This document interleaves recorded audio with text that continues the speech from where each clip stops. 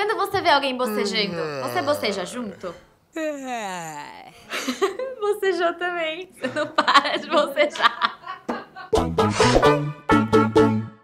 Abrir o bocão é contagioso, mas ainda não tem um consenso do porquê isso acontece. Existem milhões de estudos, mas eu vou contar os mais aceitos. O bocejo mostra um estado de sonolência, quando a situação tá monótona. Se você tá só no tédio, é natural acumular mais CO2, ficar com a respiração arrastada, diminuir a atenção. O cérebro nota que tá tudo muito parado, e aí ele fica pedindo mais oxigênio, que é sua fonte de energia. Você boceja, inspira oxigênio e dá um up no cérebro. Também pode ser pelo calor. A gente boceja para ventilar o cérebro e regular a temperatura corporal. O mais esquisito é quando você nem tá cansado, mas vê um coleguinha bocejando e imita.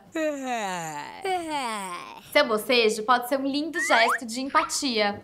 Você tá sentindo a dor do seu amigo que tá com sono, mas tá trabalhando. E sabia que até cachorro pode ter empatia pelo dono e bocejar junto? E existe outra teoria, os neurônios espelho. Olha que louco! A gente tem neurônios que querem imitar todos os atos que a gente vê, mas o cérebro seleciona. Algumas ações a gente consegue controlar, mas outras, tipo bocejo, não. É inconsciente. Você vê alguém bocejando, o seu cérebro puxa essa ação na sua caixa de memória e os seus neurônios espelho fazem você abrir a boca. Quer outra coisa legal? Quanto maior a duração do bocejo, maior o cérebro. Um estudo comparou as ações de animais e viu que os maiores cérebros tinham maiores bocejos provavelmente porque eles precisam de mais ar para ventilar a cuca. A média do homem foi de 6 segundos e meio. Cronometra aí para saber se o seu cérebro é enorme. Me dá vontade de você.